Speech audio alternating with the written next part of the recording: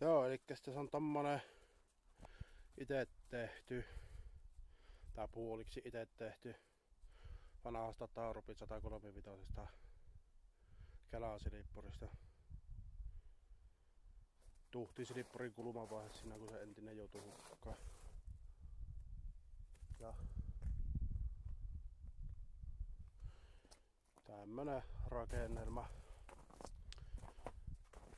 Siinä on Jameksen vanhasta etukuormaa, josta yksitoiminen sylinteri. Saan sen ilmatteeksi, niin ajattelin panna sen tuohon. Hyvin on palvelus siinä. Se on 90 kesällä laitettu tämä silippuri meille. Sillä on niitetty joka vuosi 25-30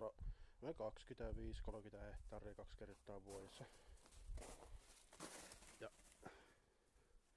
sen jälkeen sillä on niitelty potun varsikkoa. Sitten minä muun vuosi sitten rupesin laittamaan tähän hommaan ja laitan tämmöset 1,4 kiloa painavat muistaakseni josta kuhnin, josta RM sarjan vehkeestä just sopivat tähän. Näillä nyt on niitetty kaksi kesää sitten aika paljon. 10 kilometriä tien varsia ja kivikkoissa ja pellonraunoja. Niin kuin näkyy, niin hyvässä kunnossa ovat vielä. Mitä ongelmaa. Tässä taarupin salaisuus on se, että miksi se kestää, niin se on tämmönen yhdystanko tässä, joka yhdistää kaikki nuo korvat. Niin se on luja, ei ole yhtään rikkoutumista ollut.